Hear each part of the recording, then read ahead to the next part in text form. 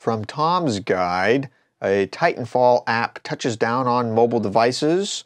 Titanfall has been topping sales charts left and right, so it makes sense the game should receive its own companion app. Complete with lore, stats, and second screen functionality, the Titanfall companion app is available for Android, iOS, and Windows Phone. But PC players, take note, only Xbox One owners will be able to access all of its features.